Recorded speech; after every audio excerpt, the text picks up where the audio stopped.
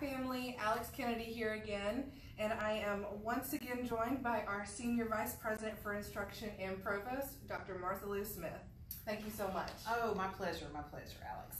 Um, we This time, we are asking Dr. Smith your questions about the fall semester. Now, I know there have been a lot of questions since our original announcement came out last week about all the different plans that are um, going forward for the fall. And so since that time, we've been gathering these questions, these frequently asked questions, and we're going to pose them to you today. Okay.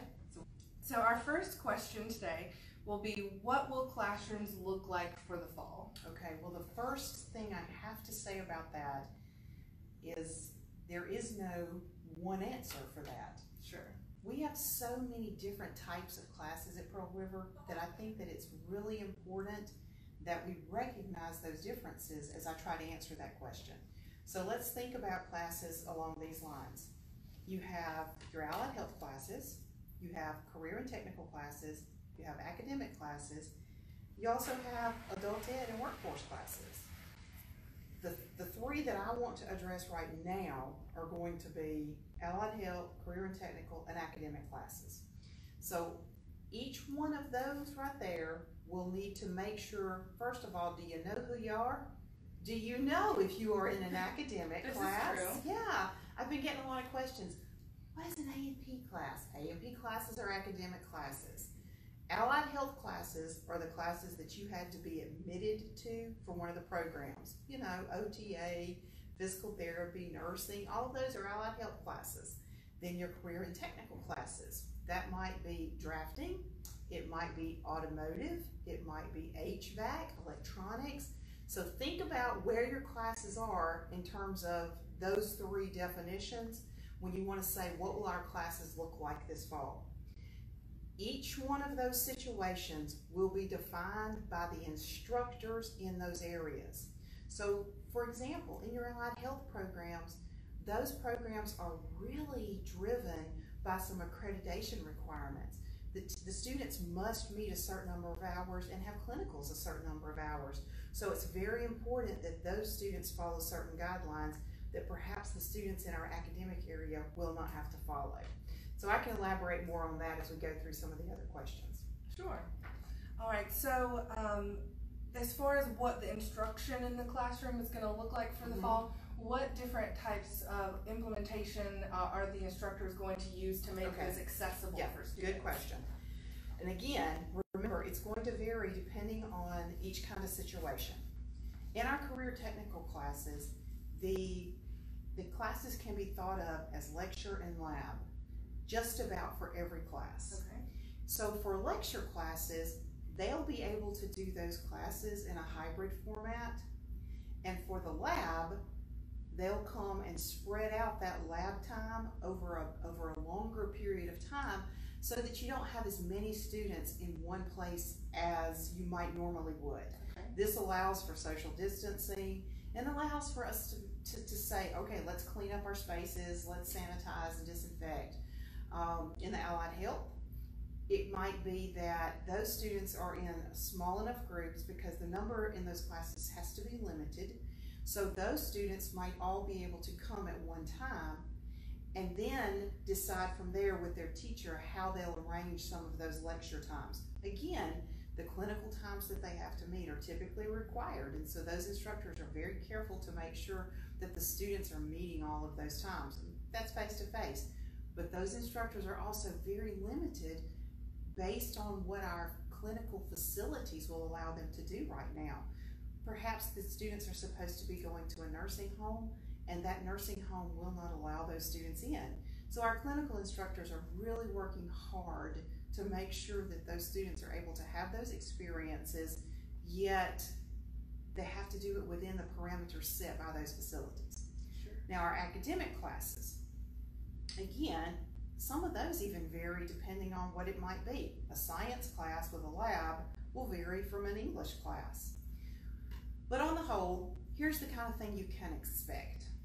When students go to class the first week, they will come up with a plan with that teacher because the teachers are working very diligently to create plans so that only a certain amount of students will be in a classroom space at one time. This is just strictly for purposes of social distancing. However, during this process, the teachers are also working to create situations to accommodate students who either don't feel comfortable being in the classroom amongst other students or who perhaps suddenly get sick and aren't able to be there all the time. So the way the students, the teachers are arranging their classes, they're creating it in Canvas. Students can log in, they can see the information. However, even if a student can't be in class all of the time, they will still be able to log in and watch the instructor do a lecture. So it will be the next best thing to sitting there. Yes. It will. We, there, there's a name for that, and if you want to go Google it, there's lots of information about it, and it's called HyFlex, H-Y-F-L-E-X. But HyFlex is not something I can touch. HyFlex is a type of teaching and learning. I can do it with my phone because a teacher can set up a phone on a tripod in their classroom and they can log in and then let other students log in and be able to watch the lecture at the same time that those in the classroom are. I can do it with my laptop so that I can literally sit that laptop in front of me as the teacher, students are logging in, I can see them, works either way. However, in order to give teachers more flexibility, Dr. Breerwood has been so supportive of committing some of our monies to purchasing equipment that is going to enhance our ability to use the HyFlex method.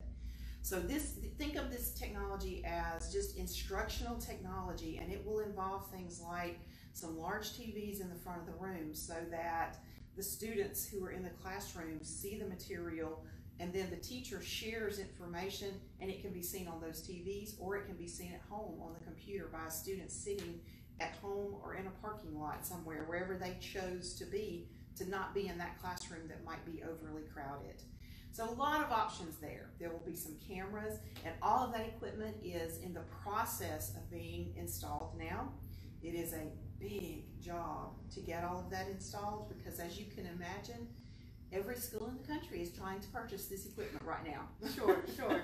so we're working hard. That sounds like such exciting technology that students that are coming to Pearl River and returning to Pearl River will be able to take advantage of. And just as I'm thinking about it, it seems like something that is going to be valuable even beyond um, the COVID 19 um, situation. I mean, this opens up doors for being able to learn in different um, in different situations beyond what we're experiencing right absolutely, now. Absolutely, absolutely. It really does give a little give a lot of options um, we've tried to install this equipment, or we are trying to install it. We're, like I said, we're in the process in some areas that, um, not just classrooms, but areas that are larger, but that can also be used as classrooms. So okay. we'll be able to multitask those spaces, so to speak, and you know, meetings and things like that can be be conducted in those spaces. But we're very excited about the opportunities this is going to give us. We will have this equipment at all three of our locations and are hopeful to also use it within adult ed and workforce. That's very exciting. We're looking forward to that. So our next question, um, moving kind of in the direction of on-campus learning. Mm-hmm. Um, so masks are required on campus. Indeed, the they question. are. Yes, and I, I, I, will, I will not lie to you. I, I, I struggle with my mask. I have bought some to put around my neck because I was walking out of my office and forgetting to pick up a mask. So I have some around my neck. Now, as I walked over here, I carried my jacket and I did not have my mask on my face, but I had it around my neck so that I could pull it up if I encountered anyone as I walked over. Did, did it have anything to do with the heat and humidity? Slightly, okay. yes, okay. yes. Welcome to South Mississippi. um, I, I do want to put it out there that as people are walking around outside, we're, we're not going to go up and say, hey, where's your mask? But it's, it's just sort of polite. You, have to be considerate of others around you. So if you are with someone in an outdoor space, then you really need to be considerate of those other folks and wear your mask. Um, inside spaces, yes, you need to wear your mask uh, especially as you are in classroom spaces. You know, someone asked the question about when you sit down in the classroom and and you're sitting there and you're being still, can you take your mask off? Well, I really discourage that. I, I think you need to wear your mask when you're in those situations because unless you're in that room by yourself, there's still there's still the chance that in that closed-in space that things could happen. So it's very, it's just really important that we be considerate of the larger community around us. Now, I will include that because our teachers are um, encouraging the mask wearing and they will be wearing masks, we are very aware that some students may be slightly hearing impaired and need to read lips in order to pay attention in class. So we have purchased some face shields that instructors will be able to wear. The instructors will be able to socially distance from the front of a classroom, but as they wear their face shield, they can take their mask down and students will be able to read their lips if need be. That's great. Our next question is, if a student does get COVID-19, how will the college handle that process, that situation? Okay, well, the first thing we're going to say is, we need you to go home do not be here on campus with us. Sure. You know, we, we respect that you want to keep learning, but you can't do it here on campus. Well, that's where we refer back to the previous conversation about HyFlex. Uh, that HyFlex pedagogy or way of teaching literally is what will allow that student to go home, recover from the virus, and never miss a beat with his or her classes. They can log in and watch their lectures, they can uh, complete their work online. They can participate in discussions online. So all of that will be available to that student. Now, we'd love to think that the student would be able to never stop working and continue. Somebody's going to feel badly enough somewhere that they need a nap. So it's, it's okay if you can't keep up right away. As our teachers are creating this information online, it's there, so they're ready to work with students to help the students catch up. Now, as our students are on campus, and uh, we, you know, we always encourage students at our ROAR sessions to get involved, and how important it is for students to really get involved, and what a difference that makes on their experience at the college as a whole. Mm-hmm. And so, speaking on that, what is the likelihood of student activities being able to move forward for the fall? Okay, well, as I answer that question, I, I told someone the other day that I need to get a t-shirt that says everything I say is prefaced by the phrase as of right now. Of course, yes. Um, as we talk about our protocols that we have put in place and that we are constantly working to revise, we tell everyone, please remember that everything we're saying is as of right this minute. So as of right now, yes, we will have student activities this fall, but they may not look quite the same as they have in the past. Students are going to be discouraged from congregating in small groups on campus without the proper social distancing involved and the masks being worn. So we are expecting there to still be activities on campus. It, it's hard to have a college life on with your campus and your students without some of those activities. So we do expect to have some, but students need to expect some modifications. Sure. Will students still be living in the dorms? Indeed, they will. Uh, in a couple of weeks, we will have our dorm move-in weekend. This is where I need to make sure that you, as students, know to always check your student email. I'll say that more than once before this conversation is over, I'm sure. But the uh, housing office has sent emails to every single dorm student saying specifically when you plan to, when you will be allowed to move in. And I don't just mean the date, they've given specific times and dates when students will be moving in, and they've given directions. So make sure you read those directions. They've told you where to go to move in. They've told you what that process will be like. You're only allowed to bring one person with you, the whole purpose of which is to create situations where we don't have quite as many people bumping into one another. A normal dorm move-in weekend is as fun for those of us who work here as it is for the students because we usually come out in mass and just start grabbing things and helping students move all of their uh, possessions in from their cars And what normally would have taken uh, three hours takes 30 minutes, and we have it all done for you. We can't do that now because we have got to respect your things, and we don't need to be touching and grabbing onto your things. So we're trying to be very careful about all that. Do know that as students are checking in for the dorms, they'll be given like a little a care package that will have some hand sanitizer, face mask, and things like that, just just to help students get started if they came without some things. That's great. So I know that as we're doing a Facebook Live here, that we are primarily speaking to parents or to those that are supporting a Wildcat that will be joining us in the fall. And so as these parents or support systems are thinking about those children's futures or those students' futures for the um, fall, what if that, that student that they're supporting has a health problem that might put them at a higher risk for COVID-19? Well, in our protocol document where we have our housing information, we've specifically addressed that. Um, living in a dorm can be one of the most exciting things that students do, and many of them are doing that because they're so ready to get out of the house. they are freshly graduated from high school and they are ready to sprout their wings and try new things in life. And honestly, that's what college is. They should be learning and trying new things. However, if you have a student who has some reason that their immune system is compromised, or maybe they have a really high, um, they, they have, they're really prone to asthma attacks and things like that. You know, we, we are telling you, we encourage you to give it a lot of consideration before moving into the dorm.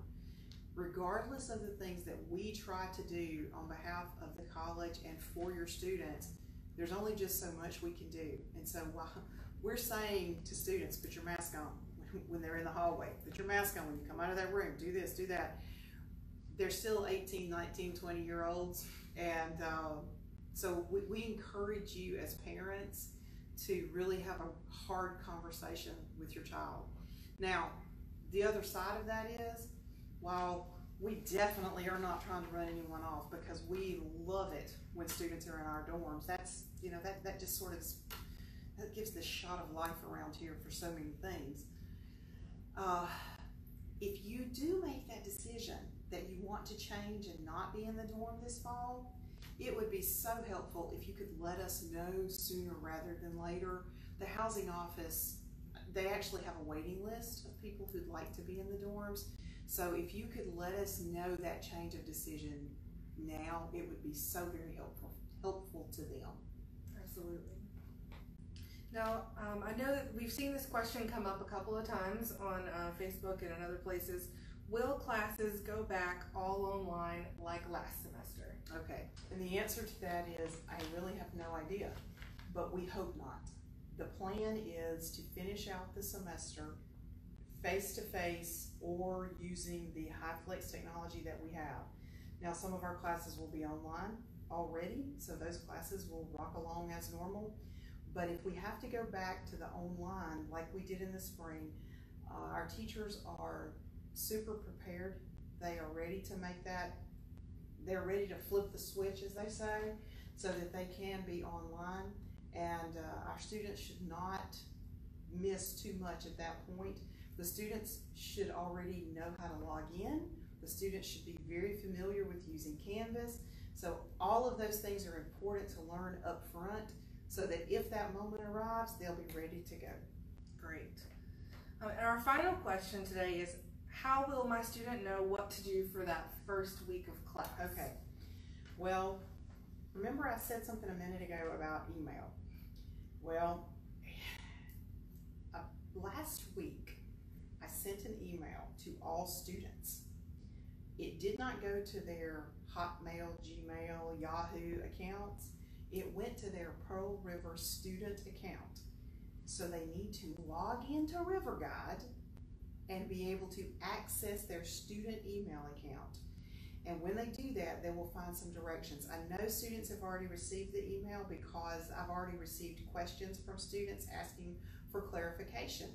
Some things are simple like, tell me, is, my, is this an academic class? Yes, A&P is an academic class. Um, some questions, they just needed a little bit of clarification, but It's, it's pretty simple. Remember what I'm about to tell you, it's only for the first week of the semester, only. Okay. If your last name, now let me back up before I say it, I'll confuse people. What I'm about to say is only for the first week and only for academic classes. Okay. If you are in a career technical class or an allied health class, you go to class the first week just as it is on your schedule. But if it's an academic class, if your last name begins with A through L, go to class the first day that the class is scheduled. If your last name begins with M through Z, you go the second day. Okay, now here's the confusion that I've encountered. If your class is Monday, Wednesday, Friday, and your last name begins with A through L, you obviously go on Monday. If your last name begins with M through Z, you go on Wednesday. That doesn't mean you do that every Monday for the rest of the semester and every Wednesday. That's just the first week. The teachers are working very hard to come up with plans that will accommodate fewer students within the classroom, but also accommodate the needs of each student in the class. So if a student needs to have a job at a certain time, the teachers are working to accommodate those students. So the students know, need to know that they can go in that first week and talk to the teacher, and the teacher will work with them and be flexible with them within reason. There's still times when the students will need to log in and be able to attend the lectures, things like that. So it, the first week may be a little bit confusing, but after you go to class that very first time, you will have a plan so that you will know exactly what the rest of your semester will look like. Great. And just to be clear, if they have a class that meets on Tuesday and Thursday, that same principle applies Yeah. for that Tuesday, Thursday class. Correct. The other question that I've received is what about if my class only meets one day a week? Maybe it's a science lab, maybe it's a class that is already hybrid. Mhm. And my response is you go to class the day that class is scheduled for that first week, and the teachers will help help you and make arrangements. They will accommodate that situation. So go to class if it's just that one day a week class, whatever it is, make sure you're there that week in class. And email your teachers now. Ask questions, introduce yourself, say, hey, I'm, I'm gonna be in your class this fall during this class period on this day, and say, I'm looking forward to it. Is there anything I need to know to be prepared? Creating a relationship with your instructors is always the first step to success. Absolutely. And, I, and we talked about this a little bit in our last session that now more than ever, communication is going to be so important with your Yes, instructor. critical. Yeah, staying in communication, emailing that instructor, reaching out when you need help is going to be really important this semester as you move forward with all of the potential changes and mm-hmm. what we're looking out for. Well, that's all the questions that we have today. I want to thank everyone for joining us for our Facebook Live. We really enjoy doing these. It feels like we're kind of getting to talk to you even though you're not here with us in the room. And thank you again for giving us all of the great questions that you supplied us. And thank you, Dr. Smith, for joining us. Now, if you have any questions about general parent questions, so how does your student log into River Guide? What is River Guide? Should they be checking their email? Those types of questions, you can refer back to our first parent session that we held, and I'll link that below in the comment section. You can click on that and go view that video. We'll also link down below our parent website. You can go to this website to see tutorials, to see quick tip videos, and short blog posts that give you information about housing, admissions, financial aid. It's a really great tool for you to be able to use as you look forward to your student joining us in the fall. Mm-hmm. So we'll link all that down below. And then finally, if you do have any questions that we didn't get to answer today, feel free to leave those in the comment section below and we'll go through those one by one and we'll make sure to get you an answer before we get done today.